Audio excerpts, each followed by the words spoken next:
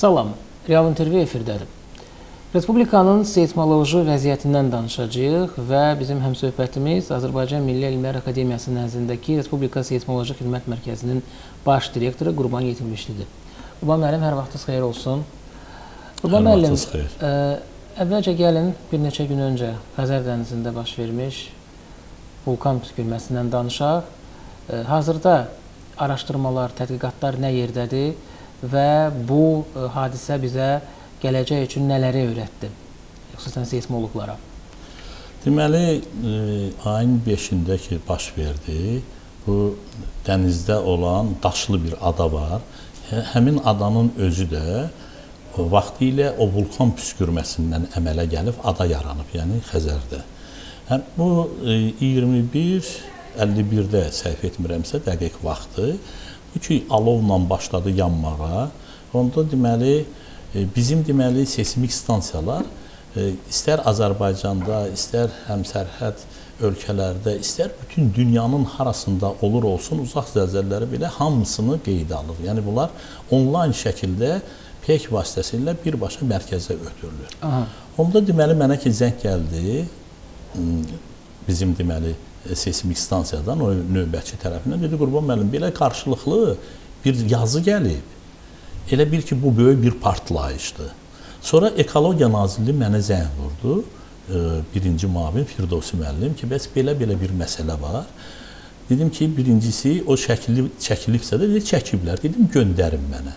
Bunu göndərdilər mənə. Mən baxan kimi bizim deməli yazılarımız var, video yazılarımız, vulkanın püskürmələri. Mən baxdım bunun o saat xarakter hesabı ilə götürdükdə ancaq vulkana oxşuyur. Və sadəcə dedim ki, bəs fövqəladə ilə əlaqə saxladıq. Ayrı bir hadisə baş verməyib ki, yəni platformada partlayış olsun, yaxud neft quyusu qazılır orada, o neft qaz kəmərlərində, yaxud bir yəni, tank, təbii hadisələr ola bilər də. İndi tankerlərin toqqaşmasında, hətta o yazıda qışqırırdı kimsə də deyəsən Ümid platformasından çəkilmişdi. Tanker partladı, nə, nə elədi, nə səslər də gəlir, görünür nə bilsinlər bu qaranlıq gecə vaxtı belə bir birdən alovla partlayış oldu, özü güclü partlayış. Onun hündürlüyü də hər tərəfdən Abşeronun hər tərəfindən görsəndi. Aha. Hə.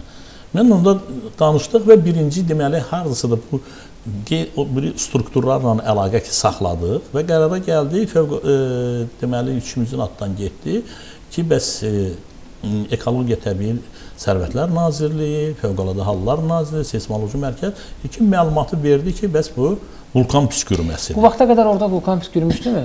Yox, vulkan deməli, həmin bu vulkan e, deməli püskürüb axırıncı dəfə 1945-ci ildə. Yəni ha. bu çox belə necə deyirlər, elə bir ki, e, yatmış fason bir e, üzr istəyirəm, yatmış bir belə yatmış bir vulkandır, vulkandır da, yəni. da, yəni çox e, aktiv vulkanlardan deyil. İndi Xəzərdə vulkan, e, palçıq vulkanları çoxdur. Elə birini də misal çəkim. E, deməli 2000-ci il 25 noyabr ki zəlzələsi baş verdi. Bir neçə gün sonra e, Nardarandan götürdükdə e, deməli şimali şərqə doğru orada vulkan başladı püskürməyə. Həmin o vulkanın püskürməsi də bir ada kimi görünürdü gözlə ki, müşahidə edilir. Biz çünki Nardaranda bizim e, seismik stansiyamız var. O Mayakın yanında hündürdən qəşəng də o görünürdü. Sonra bir həftə zat vaxt keçdi. O deməli dənizin o dalğası başladı onu yumağa. Yəni o vulkan gözdən itdi. Çünki e, onun püskürmə davamiyyəti çox olmadı. Çoxlu miqdarda kütlə o Brexiyanı atmadı, onun daş, daşlaşma imkanı olmadı o qədər. Yəni ki, ada kimi o qalsın, necə deyərlər. Yəni olur. Xəzərdə bilirsiniz ki, nəinki o palçıq vulkanları, eləcə də e, adalarda palçıq vulkanlarından yanaşı Xəzərin özündə potensial gücə malik zəlzələ ocaqları var. Yəni mütəmadi özü dənizin özündə var. Bəli, bəli. Deməli bütün Azərbaycan sektorunu götürdük. Ümumiyyətlə bütün Xəzərdə var. Elə mən onu götürürəm ki, bizim deməli elə Azərbaycan sektorunu götürdükdə düz şimala qədər necə deyirlər, potensial gücə malik olan zəlzələ ocaqları var. Bunlar da çox aktivdir. Yəni mütəmadi olaraq bunların o e, baş verməsi, bunların qeydiyyatı düzdür indi e, 2000-ci ildən sonra baş verən bir-iki dənə orada deməli təkanlar olub ki, 2018-ci ildə magnitudası 5 olan düzdür uzaq bu Azəri çırağa yaxın idi, o platformaya yaxın olan o Bakıda lap zəif hiss olundu, yəni bir 3 bala kimi. Ancaq 2000-ci il zəlzələsi noyabrda baş verən e, o zəlzələ 30-33 kilometr götürdükdə Bakıdan ə, e, məsafədə sahildən. Amma kifayət qədər Bakıda hiss bəli, olundu. Böyük hiss olundu. Bakıda 7-7 baldan artıq ərazilər var da. Yəni ki, geoloji quruluşuna görə eyni bir zəlzələnin müəyyən qədər təsiri olur o geologiyaya görə. O enerji boşalması ki gedir dalğanın, baxır hansı suxurlar deməli, əgər qaya suxurlarında daha tez ötürülür, ancaq ki qaldı gilli, qumlu, sulu laylarda tez o sönməyə Aha. başlayır və onun dağıntısı, silkələnməyi daha çox olur. Qurban müəllim, bax siz qeyd elədiniz 2000-ci ildə baş vermiş, noyabr ayının 25-də e, baş vermiş zəlzələni və 21 il keçib. Bax bu gün biz yəni daha doğrusu siz deyək, ə, seismoloq olaraq ölkənin seismoloji vəziyyətini, o cümlədən də paytaxt Bakı şəhərini necə qiymətləndirirsiniz? Deməli, baxmayaraq ki, indi 20 il ki keçib deyirsiniz, bəli. Ancaq bu 20 ildə o demək deyil ki, Xəzərdə dediyim kimi zəlzələlə ocaqları çoxdur, özdəki aktiv. Bu, bu müddətdə sadəcə olaraq həmin o 2000 2000-ci il 25 noyabrda baş verən o zəlzələnin magnitudası onun deməli böyük idi. Yəni 6.3 2 dənə təkan oldu. 6.3 6 e, bir də 5.8-də. Bu o gücdə məsafə yadımızdadır bəli. O, o gücdə yəni təkan olmuyor. Ondan zəif magnitudası 5 olan, magnitudası mən Richter cədvəlindən danışıram, ballıq söhbəti deyil.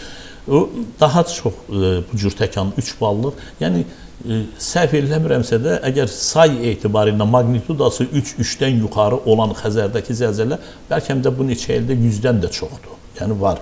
Onun xəritəsi var bizdə, o kataloqda var. Amma onu hiss eləmirik Bakı şəhərində. Bəli, amma tək-tük bir-iki dəsi o sahil yanı hiss olunan olub. Amma qaldı ki, yəni o fəaliyyət davam eləyir. O mənada ki, tək ocaqda yox, digər ocaqlarda Xəzər e, dənizində, yəni Azərbaycanın seismogen bölgələrini götürdükdə Xəzər özü aktiv zonadır, Şamaxı İsmailli aktiv zonadır, şimal e, cəhətdən Quba Qusar bu Xaçmaz zonası aktiv zonadır götürdükdə deməli e, şimali qərb, e, yəni Şəki Zakatala zonasıdır, sonra Gəncəbasar zonasıdır, Naxçıvandır, Talus zonu. Bunlar hamısı necə deyirlər, e, güclü potensiala malik olan zəlzələ ocaqları var.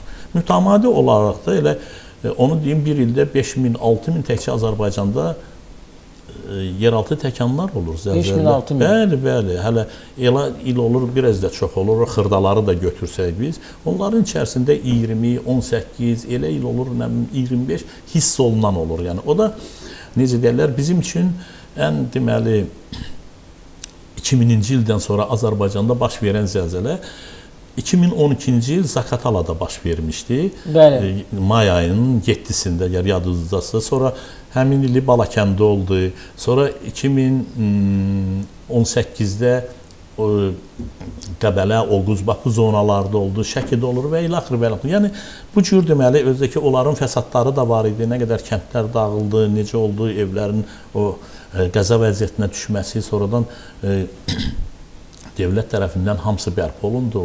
O dağılmış evlər yenidən tikildi, özü gözəl, müasir, qəşəng evlər tikildi. Allah prezidentimizə can sağlığı versin, özü gəlmişdi və tapşırıq da vermişdi. Elə də necə deyirlər, böyük işlər getdi. Yəni nə üçün belədir?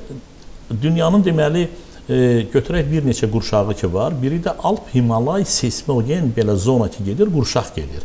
Bizim də deməli bütöv Qafqaz Himalaya kimi gedir. Bu seismogen deməli o qurşaqda yerləşir. Ona görə mütəmadi olaraq bu bizim ərazidə də, yəni bütöv Qafqazı götürdükdə ə, aktiv zəlzələ ocaqları var və burada həmişə yeraltı təkanlar baş verir. Ə, Qurban müəllim, ümumiyyətlə ə, avadanlıqların vəziyyətindən gəlin danışaq. Yəni ə, təbii ki, 21 il öncə ə, demək Bakı Bakıda baş vermiş həmin o güclü zəlzələni ölçən avadanlıqlardan söhbət getmir. Yəni 21-ci əsrin tələblərinə cavab verən seismoloji cihazlardan söhbət gedirsə, bax elə rəhbərlik etdiyiniz mərkəzdə vəziyyət necədir? Yəni yenilənmə olubmu, yaxud nələrsə e, plandadır və bu yenilənmələr bizə gələcəkdə hansı geniş imkanları yaradır? Bəli, deməli 2000-ci ildə bizim bildiyiniz kimi köhnə Sovetin o istehsal etdiyi o analoqlu stansiyalar var idi. Elə kadrlarda da görünürdü o vaxtlar. Bəli. bəli. Yəni o da ki necə idi? Hətta o vaxtlar o zəlzələ ki baş vermişdi, ən tezi, yəni onun deməli epitsentri müəyyən etmək əgər 1 saat müddətində bu e, necə deyirlər, emal olunub, o baş vermiş zəlzələnin parametrlərini müəyyən etmək 1 saat ən belə tezi vaxt aparırdı. Nə üçün? Çünki o elə bir köhnə cihazlar idi ki, o barabanın üstündə e, e, asilloqrafını kağız dedikdə foto kağızdır. Onun bəli, üstə bəli. yazı gedirdi, padvalda qaranlıqda. Cızırdı, göstərirdi, bəli. Onu elə bil ki, foto şəkil kimi götürüb onu nə cür deyirlər, o e, reagenlərlə e, şəkil necə ki çıxardılır, o cür şəkildə çıxardılırdı. Sonra qurudulandan sonra sirkulu götürürdün, xətkeşi götürürdün, bir-bir o yazını necə lazımdır hamısını emal eləyirdin. İlk dalğanın gəlməyi, onun amplitudu, onun periodu və ilə axır və ilə. Sonradan isə bölgələrdən telefonla tez təcili onlar da bu işləri görür. Bu ən tezi 1 saat, saat yarım vaxt aparırdı. Yəni bildiyiniz kimi o vaxt ulu öndər tapşırıq ki verdi o zəlzələdən sonraki ən müasir avadanlıqlar alınsın. Bəli. Deməli həmin müddət e, 14 dəst pek rabitəli belə ən müasir avadanlıqlar alındı Amerikanın Kinemetrics şirkətindən. Yəni o şirkətin avadanlıqları e, indi indinin özündə də dünyada o seismik cihazlar tərəfindən ən mötəbər belə necə deyirlər, çox belə ə, həssas bir cihazlardır, gözəl cihazlardır. Onlar hələ işlənilir, bəziləri də dəyişdirilib.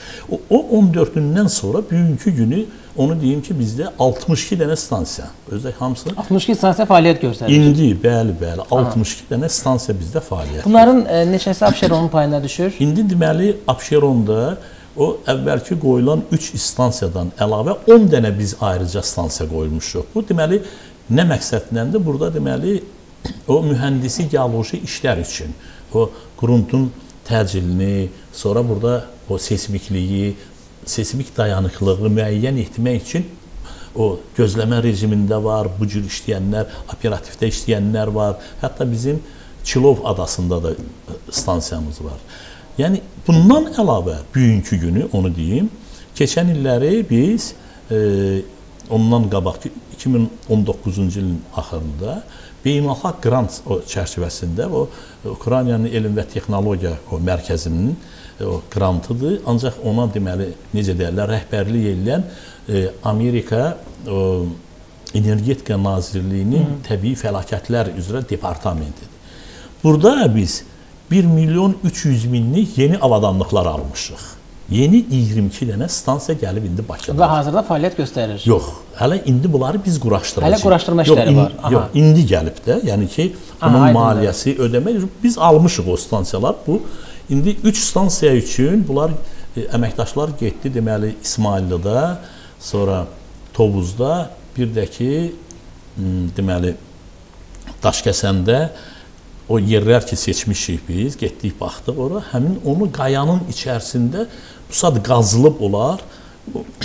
Aparıb sadəcə cihazları quraşdırıb yanında digər o məsələlərdə kommunikasiya işlərini həyata keçirəcək. Aha. Ondan əlavə onu da deyim ki, e, 4 4 8 stansiya, yəni hər vulkana 4 4 vulkan ətrafı aktiv vulkan ətrafı. Biri Qobu Bozdağdır, o birisi Lökbatan vulkanıdır. Onun ətrafında quraşdıracağıq. Yerdə qalanları hardakı çatmır və bundan başqa da ki, e, Xəzər deməli Azərbaycanın Xəzər sektoru üzrə e, Yalamadan başlamış düz Astaraya dək. Bizdə düzdür, hardakı stansiyaları var, Bəli. öz yer. O stansiyaların arasındakı boşluqları bunları da yerləşdirəcək. Nə üçün? Deməli, nə qədər bizim şəbəkə sıx olsa, bir o qədər biz yer daxili gedən bütün prosesləri izləyə bilirik. Dəqiqliklə o elmi araşdırmada onların o məlumatların götürürük və alınan nəticələr çox belə necə deyirlər, etibarlı, möhtərəm olur. Aha. İndi bir şey deyim də. Əgər əvvəllər misal üçün bir epitsentr zəlzələ baş vermiş, o epitsentri müəyyən edəndə harsada 10 kilometr, 15 kilometr xətaya gedirdi. Lap əvvəllər isə 25-50 kilometrə qədər olurdu belə şey. İndi isə tam o instrumental şəkildə dəqiqliklə həmin epitsentr verilir. Çünki bu necə deyirlər, həmin o şəbəkənin sıx olmağı, o məlumatlar bazasının daha nə cür deyirlər, möhtəbər olmağı, geniş olmağı bu imkanları yaradır. Təsəvvür edin 62 stansiya, indi də 22 stansiya ki quraşdırılacaq. 84 stansiya Azərbaycan üçün çox böyük, necə deyirlər, lazımlı məsələdir. Və e, Qurban müəllim, bir məsələni mən e, demək istərdim.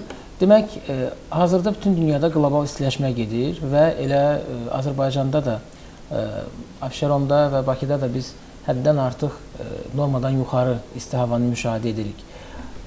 Bu hava şəraiti zəlzələ ocaqlarına öz təsirini göstərə bilərmi, yaxud vulkanlara? Yəni hansısa əlaqə varmı? Çünki çox vaxt biz müəyyən rəylərlə qarşılaşırıq və bildirilir ki, elə əslində qlobal istiləşmə yer süxurlarına da təsir göstərə bilər. Məhz o dediyiniz zəlzələ və vulkanlar e, onların fəallığına təsir göstərə bilər. Necə bilirsiniz? Yəni varmı belə bir əlaqə, yoxsa bu əslində bir e, deyimdir? Mən bir şey deyim də, indi biri var, o yer daxilində gedir.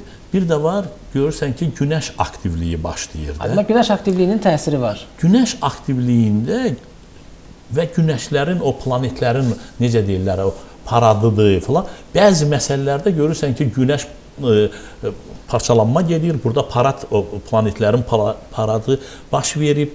Müəyyən müddətdən sonra bir neçə gündürmü, həftədimi görürsən güclü bir təkan verir. Bəli, məsələn Türkiyədə baş vermişdi 99-cu ildə. Bəli, bəli. Türkiyədə İzmitdə ki baş vermişdi Bəli. o zəlzələ. Elə 2000 onu deyim də 99-cu ildə baş vermişdi. Avqust ayında, 2019-cu ildə Türkiyədə 20 illiyini keçirirdilər. Məni də dəvət eləmişdilər. Və gün tutulmasını hətta orada Bəli. ə, əsas gətirmişdilər. Nəyə gətirirəm? Orada böyük bir toplantıdır. Dünyanın bu necə deyirlər, bu aparıcı o, ə, seismoloqları falan orada iştirak edirdik. Bəli. Bu konfrans gedə-gedə birdən bir dənə yaxşı təkan oldu. Bir 5 ballıq təkan. Bir çalxaladı, vurdu o yan bu yana. Hamı durdu. Yəni əyani şəkildə bunu da şəkildə məndə yazıları var onun çəkdi tez telefondan. Yəni hamı da dedi ki, bu bizə sürpriz elədi ki, bəsdir ha. Yəni 20 illiyi bu cür təntənələ Bəli. keçirməyin, yadımdadır. Yəni o planetlərin o paradından sonra baş vermişdi. deməli baş verə bilər. verə bilir bəli. Qaldı ki, indi qlobal istiləşmə, indi e, onu yaxşı bilirsiniz ki, bu parniklərin, o e, atmosferə ki atılan bu zat, zavodların, zadın o tüstülər, zatlar ki var, o e, yuxarıda azon qatında başlayır seyrəkməyə, o necə deyirdilər, o bəzi o, o Dəlik əmələ gətirir, bəli. Dəliklər əmələ gətirib. Çünki e, yer qatı həm maqnit qatı ilə tam bağlıdır. Günəş şüaları atmosferə birbaşa düşəndə Allah göstərməsin də bu həm radiasiyanı artırır, həm də ki yandırır birbaş. Nəyə görə e, görürsən dağın başına çıxırsan, o gün güdüşür, yerə aşağı düşəndə görürsən sir-sifətin yanıb sənin. Hava çünki seyrəkdir orada. Necə deyirlər, aşağıya nisbətən o şüalar birbaşa gəlməyi, adamda o e, istiliyi hiss etməyi, gün yandırmağını görürsən. Belə baxanda çox da e, Bəli. deyək ki, onun dərəcəsi yoxdur, 15-20 dərəcə e, istilik var, amma aşağıda 30 dərəcədir, sən o qədər yanmamısan, nəinki o dağ başında olanda. Yəni bu işlər var. Qurban müəllim, təşəkkür edirik e, belə maraqlı müsahibəyə görə və e, fəaliyyətinizdə uğurlar diləyirik. Çox sağ olun. Allah işlərinizi avam eləsin. Allah millətimizi xətabaladan uzaq eləsin. Olsa təbii fəlakət də olur, amma elə olsun ki, heç bir güclü fəsadlar törətməsin. Xalqımız da narahat olmasın, şayələrə inanmasın. Ancaq və ancaq dövlət strukturunda aparılan işlərin o nəticələri hamısını biz efirə veririk, ona inansınlar. Təşəkkür edirik bir daha. Çox sağ olun. Qeyd edək ki, respublikamızdakı seismoloji vəziyyətdən danışdıq və bizim həmsöhbətimiz Azərbaycan Milli Elmlər Akademiyası nəzdindəki Respublika Seismoloji Xidmət Mərkəzinin baş direktoru Qurban Yetirmişli idi. Salamat qalın.